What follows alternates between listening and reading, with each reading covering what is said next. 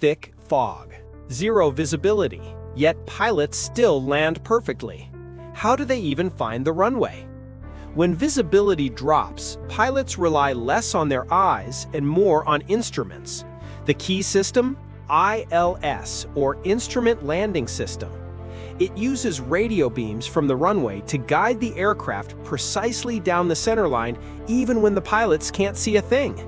The plane's autopilot can follow these signals to descend perfectly, sometimes all the way to touchdown, in what's called a Category 3 landing.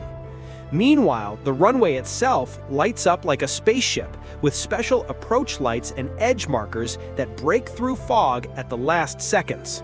So next time you land in thick fog and see nothing out the window, remember your pilots don't need to. They're flying on invisible highways in the sky. Follow JetWhiz for more aviation wonders.